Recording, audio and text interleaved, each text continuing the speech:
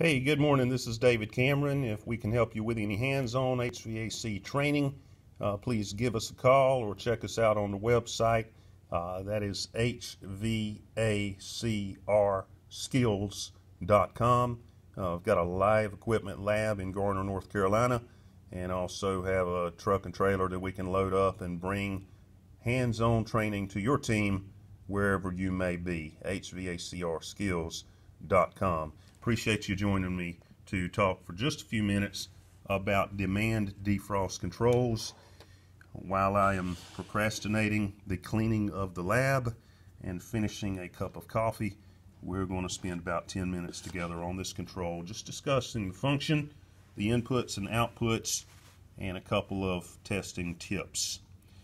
First of all, we'll start with the low voltage inputs and that is on the bottom left side of the board we have got uh, 24 volt input terminals R and C. This is my hot and common, so to speak, of my 24 volt signal that is constantly supplied to this board anytime your service disconnects um, are on and, and, your transformer is functioning and of course uh, your low voltage fuse is intact.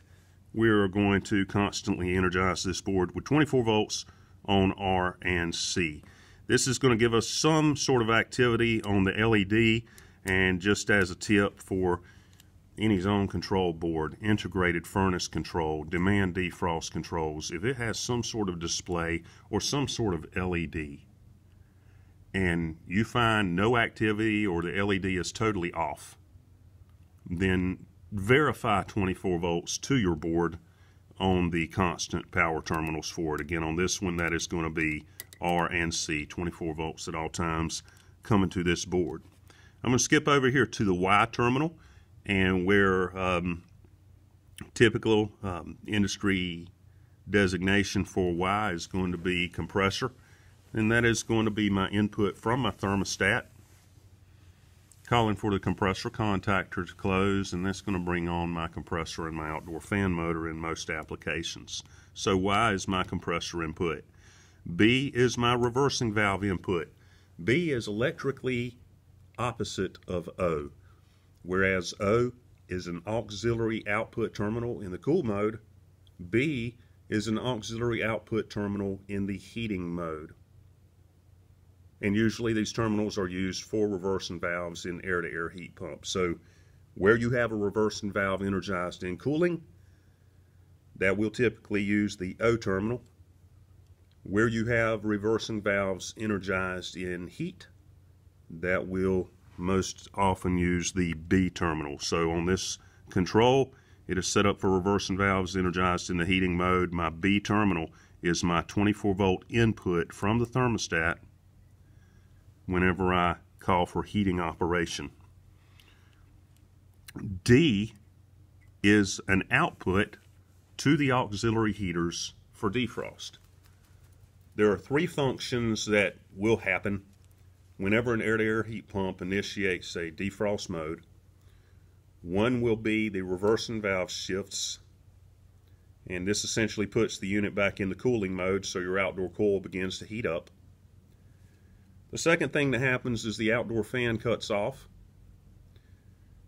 This concentrates the heat energy around that outdoor coil to melt that frost off as quickly as possible.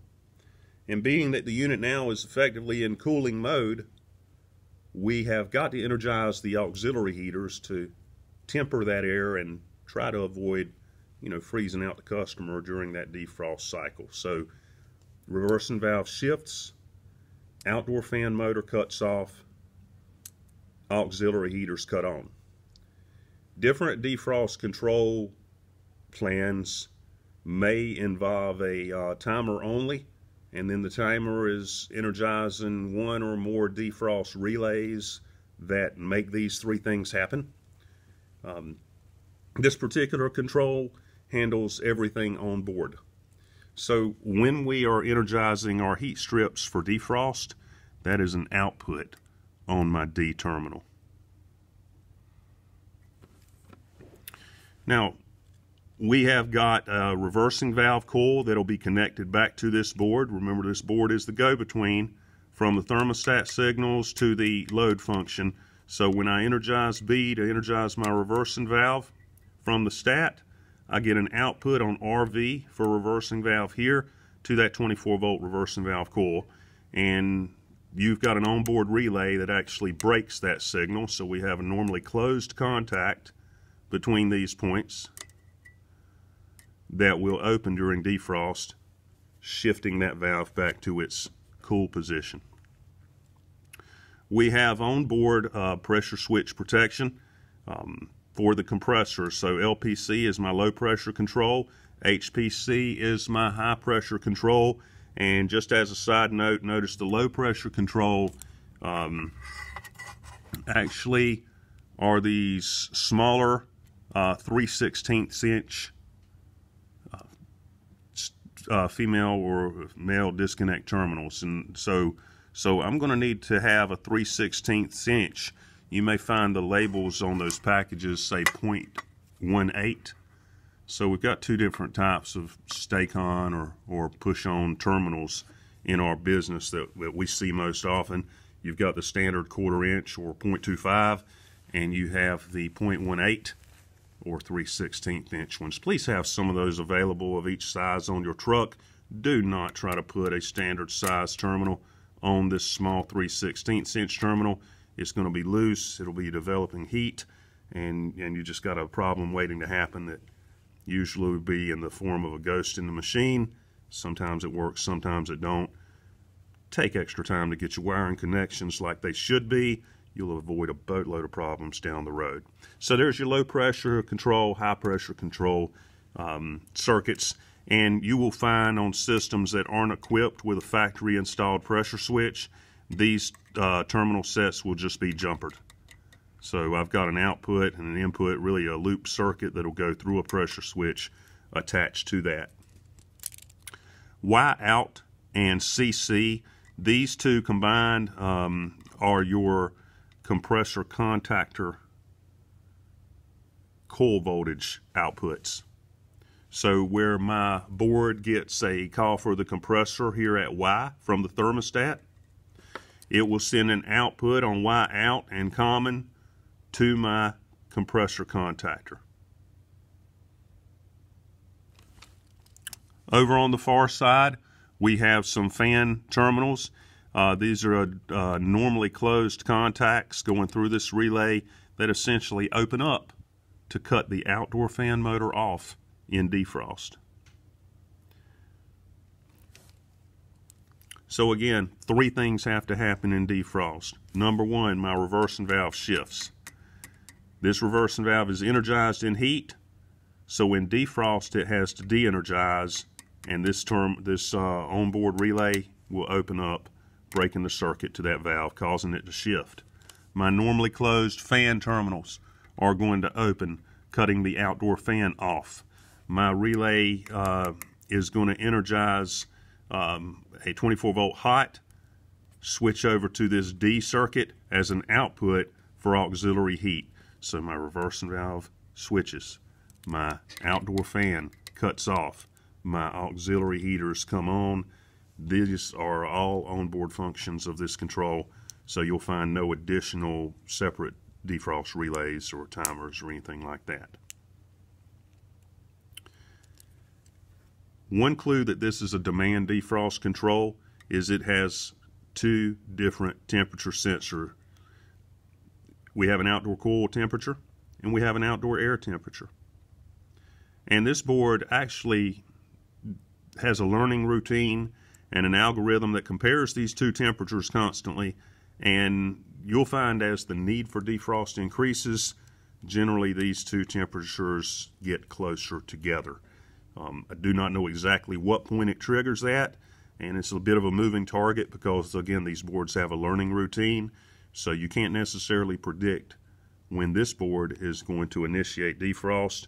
You have to make sure that it's functioning properly, that your sensors are uh, correct, they're located properly, and then trust it to do its thing. You'll go up on some heat pumps that the coil will be totally clear of any frost, and yet this board is going to initiate defrost.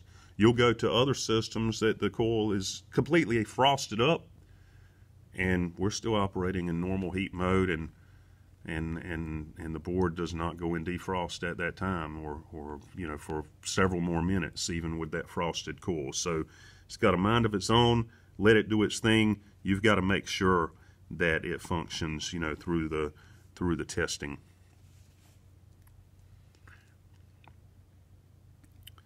last uh, but not least we have a set of test pins on this board and once we establish a condition where the uh, defrost is favorable, which means I'm not going to just jumper the pins and put this board in defrost.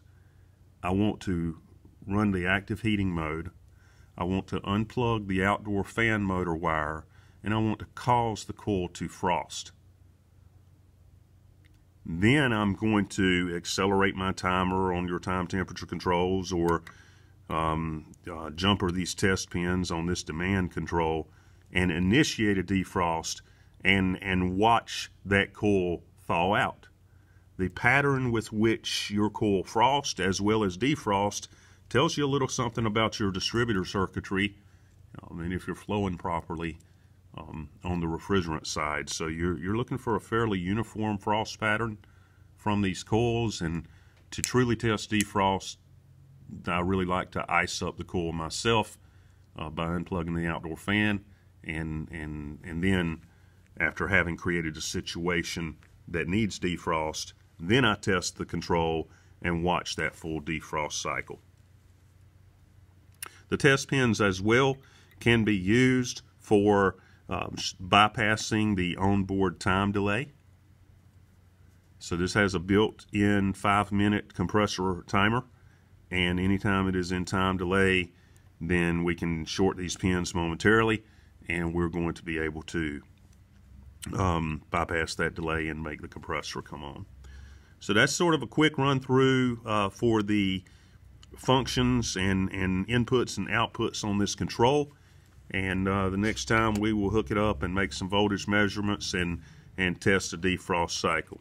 Again, any electronic controls these days typically will have some sort of LEDs and the first thing you should do with any diagnostic process is look at what the machine is trying to tell you. And with this particular board, we have the fault codes screen printed on the board itself and it gives you a series of lockout functions or um, shutdown functions, whether it's your pressure switches, sensor failures, uh, time delay, things along those lines. Well, thank you so much for hanging out with us this morning. And again, when you get an opportunity, check out some of our stuff on hvacrskills.com. Hopefully, whatever you need, um, will come into a bit clearer focus know, once you give us a call. Have a great day.